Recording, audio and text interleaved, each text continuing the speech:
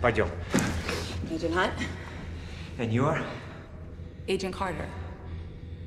Okay. Who's your pal? I'll tell you on the way.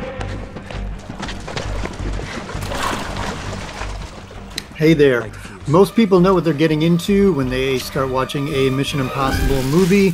Uh, the first one and the fourth, fifth, and sixth installment are pretty fantastic. We're going to take a look at a scene from the fourth one here which is where I think the franchise kind of came back together. It was kind of on a downward spiral in two and three, but maybe that's more insider information than you need.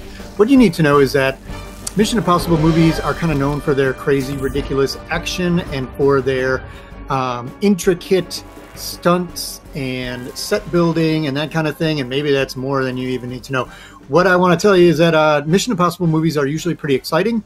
And uh, the way that they build these is usually with the pretty quick, rapid fire um, uh, action sequences and camera work. And the way that they use music and what you're listening to right now is uh, part of that. Like, who doesn't get a little bit excited about what's about to come? This is a couple minutes into the movie. They show you something, and then it's like, play the theme song, and then you're off. So, what I'm going to want you to do is, I'm going to want you to do three things here. I'm going to want you to set up the scene that we're about to watch. And it doesn't matter how long the scene you're going to show us is, it should be pretty short. But tell us what we need to know uh, before the scene so we have some idea of what's going on. Do not uh, assume that people know the movie you're watching or whatever, even if it's well known. Like, tell us uh, this is what's happened so far, and we're about to see the scene where whatever happens. Okay. Number two, show us the scene. Let's just watch it without any comment. Let's just see what's going on.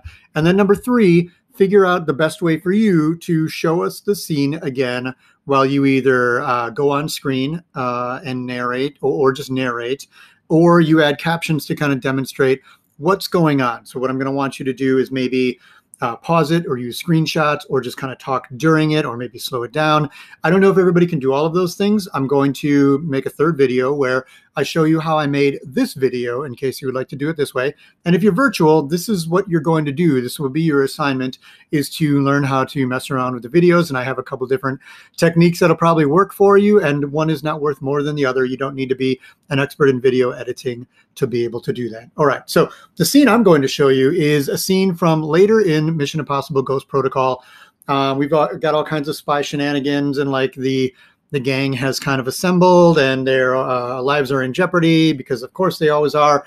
And what's going to happen is um, Ethan Hunt and the group have figured out a way to print some masks and pretend to be people that they're not and whatever.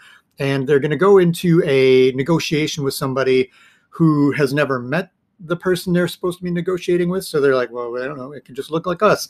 So they go in and they um, they give the the people the money, and they're supposed to give them like nuclear codes or something, and it all kind of goes haywire. And so the purpose of the scene is to kind of show um, a, a little bit of the intensity of what's going on.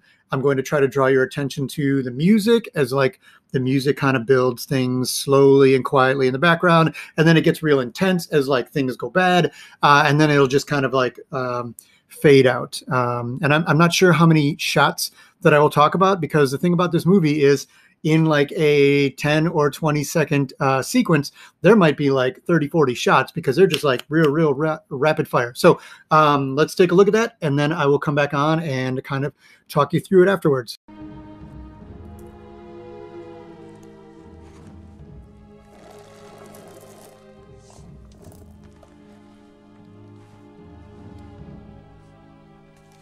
It was a pleasure doing business with you.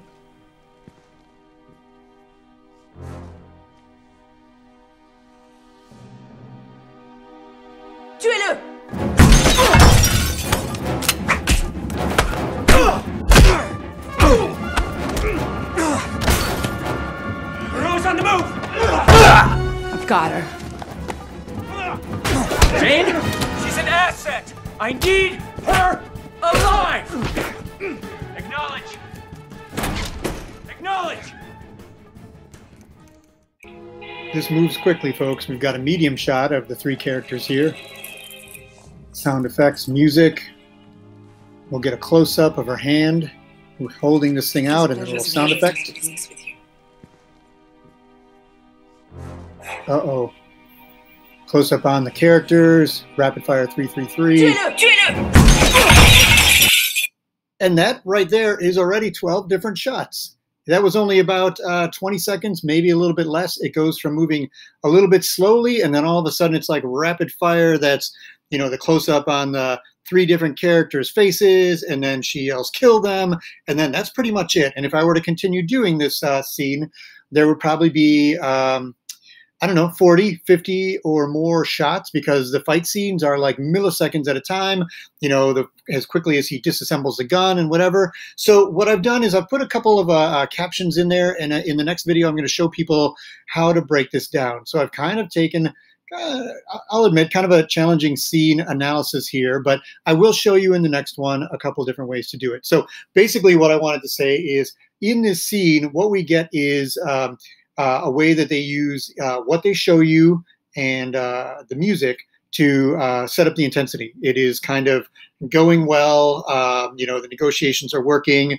You've got this kind of lazy playing music, and then you hear that burn, type of noise that indicates that it's going to go wrong. And then that lazy music goes away, and then it's replaced by action music right after that. We also have the sound effects in the scene, which of course they can hear and everything. But the main thing here that they show you is uh, the reactions of the characters. They're all playing it kind of cool, but then they show as it's going a little bit south. They show Tom Cruise's face as he's like, "What's going on?" And then the three uh, zooms in into Jeremy Renner's eye because what you don't know is that he's got a camera on his eye uh, because of course he does, and it's super spy gadgets and whatever. Um, so you're you're getting all that kind of stuff, which is uh, you know what you get in a movie like this. All right. So I will come back on here to uh, wrap it all up, and then I've got another video for you to kind of show you how to do this.